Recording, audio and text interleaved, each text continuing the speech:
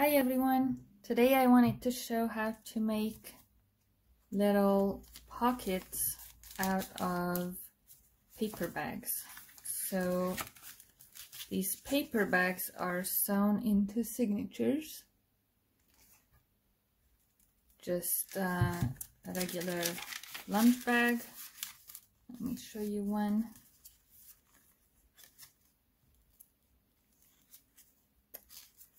Let's see. All right so here's one end of a paper bag and then the other end is over here and it's been turned into a little envelope. So you can either open it like this or you can open it like this.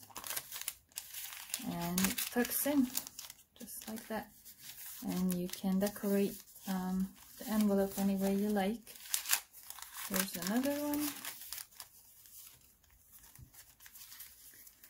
And of course the other end of it is a regular uh, little bag.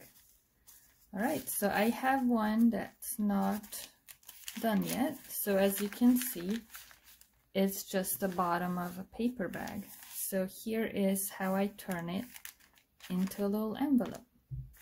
I take this side right here. And I find this little opening on it. And my goal is to cut it right across.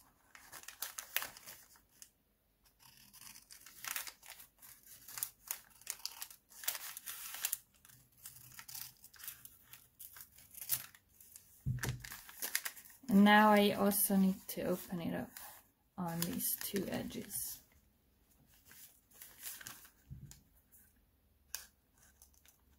And of course you can do this before you sew it into the signature and it's probably much easier to do it beforehand.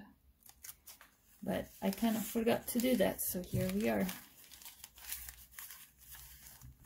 Alright, because now it's a little bit harder to get to it especially if your journal is really thick.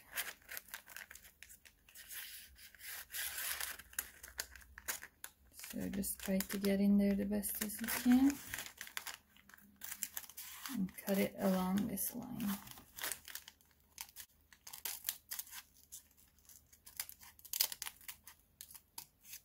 So yeah, I recommend doing this ahead of time. But now this will open right up. And you can also already see the beginnings of a little envelope. You can actually just leave it like this and just glue something on top. And it will open up like this which uh, which is actually really nice to do it that way. And if you don't want it to open up like this then you can tape this tape or glue this down all around and then it will open up just like this. It will be a smaller pocket instead of a big pocket. And you can also do this and fold it up. So that's another variation. Or you can leave it sort of origami style. Now to do it, uh, to make it into more of an envelope look, I simply mark the midway point like this and then I fold it up to that point.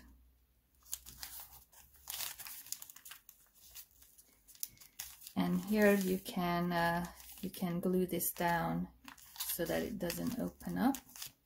Glue it or tape it down. You can cut these little flips off if you don't like them sticking out. And then this tucks into here but only this far. So in my case, I'm lucky because I can just fold it here and it will still perfectly fit my page. So that's what I've been doing. If you do it ahead of time, then you will have more control over that. And you can also cut these flaps off so they are not in your way. And you can do this nicer than I'm doing right now, but I just wanted to show it real quick. There we go. So once you glue this down, and you can nicely decorate this, and of course you can use all kinds of different colors for your envelopes. And that's it. Thank you for watching. Have fun.